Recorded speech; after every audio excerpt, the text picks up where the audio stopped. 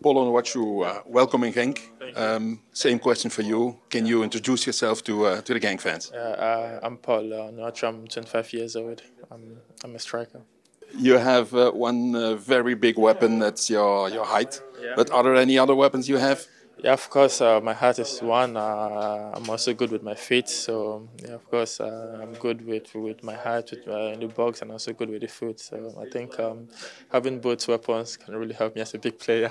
It took a long time for you uh, to get here. Eh? Uh, how frustrating was that? I was very frustrated, but I think my former team had the position to to answer that why it took so long. But it had nothing to do with them. Now, finally, I'm here in Genk. I'm just looking forward to the adventure with Genk. You had some uh, good advice from uh, a very guy, very nice guy who played here, Wilfred Ndidi. Yeah, yeah, I did. Uh, national team, he told me a lot about Jenka, nice people, nice trainers, and yeah, nice staff, and you know, good club to to to improve uh, my ability to take the next step. So yeah.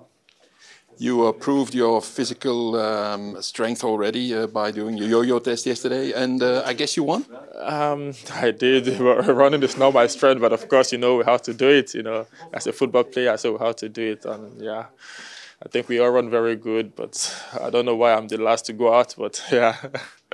Uh, you uh, went into the dress dressing room after the game against Anderlecht to meet your teammates. Uh, how was that? It was a very good feeling uh, coming to the stadium for the first time to watch and the three points. So it's a very good feeling to go to say hi to them with the victory. You're satisfied with uh, the surroundings, with, with the stadium, with everything? Yeah, very satisfied. Beautiful stadium, beautiful training pitch, beautiful facilities, and yeah, very good environment. I'm very happy and pleased. And you have Champions League experience as well, I guess? Yeah, qualifiers. yeah, I did. I have qualifiers as France, but not in the main stage.